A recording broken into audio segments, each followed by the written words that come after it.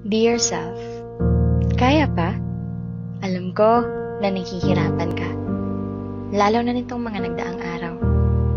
Nitong mga nagdaang araw, muntikan ka na talagang bumitaw. Minsan, di mo na nga maintindihan ang sarili mo. Pakiramdam mo, isa kang naliligaw na kaluluwa dito sa mundo. Ilang gabi na rin hindi ka nakakatulog.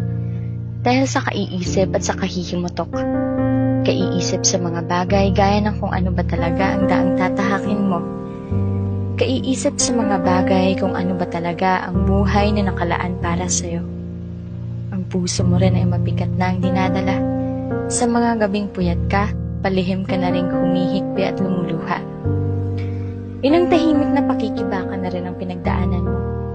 Tahimik na pakikibaka at tahimik din na pagpapagaling sa mga sugat na iyong natamo. Hindi madali ang iyong mga laban, pero nananatili ka pa rin matatag at patuloy mong sinusubukan.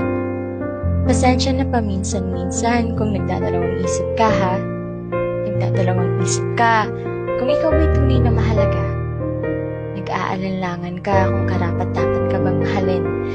Nagdadalawang isip kung dapat ka bang piliin. Pasensya kung naghihina ka na. Yung tipong parang pasuko ka na talaga. Pasensya kung nauunahan ka palagi ng takot. Pasensya kung minsan nababalutan ka na ng lungkot. Palagi mo namang sinasabi na sinusubukan mong maging positibo lang araw-araw. Pero nang dahil sa mga sitwasyon, di maiwasan ang isipin minsan na dapat na bumitaw. Pero grabe, kahit nahihirapan ka na sa mga pangyayari, tumatayo ka pa rin. Bumabangon at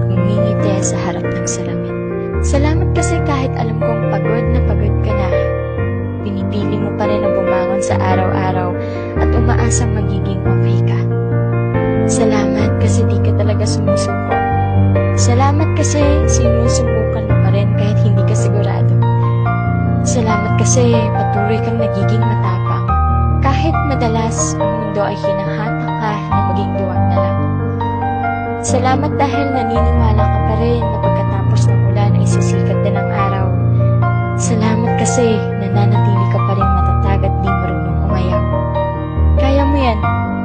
kahit wala mang magtanong kung ano ang totoo mong kalagayan, kakayanin at kakayanin mo yan. Alam ko naman na di ka basta-basta susuko at patuloy ka pa rin lalaban. Lalaban ka pa rin sa buhay na to. Kahit na minsan ang buhay ay puno na ng gulo. Salamat ulit sa pananatili mo. Hanggang sa huli, hindi tayo susuko.